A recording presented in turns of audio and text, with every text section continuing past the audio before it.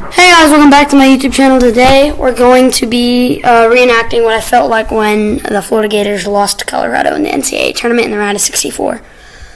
And, well, here we go. First half. Okay? Let's do this. Let's go!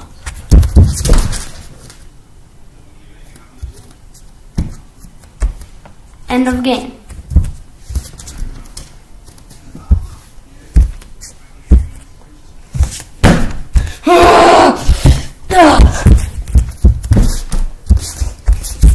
Anyways, that's it for today's video, and make sure you like and subscribe, and peace!